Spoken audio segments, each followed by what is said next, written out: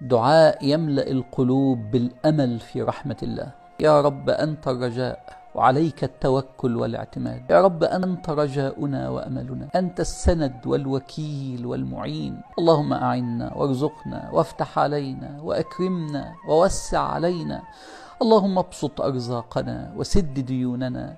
اللهم يا رب أنت القائل ولا تياسوا من روح الله. يا رب نعوذ بك من اليأس وأنت خالقنا ومولانا. تباركت يا ذا الجلال والإكرام.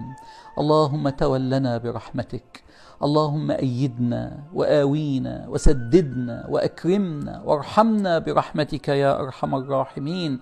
اللهم يا رب املأ قلوبنا بحبك املأ قلوبنا نورا وأملا وتوكلا عليك.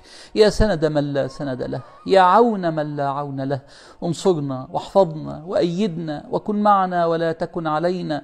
اللهم تقبل منا وافتح علينا وأسعد قلوبنا وحقق أمانينا وتقبل منا يا أرحم الراحمين.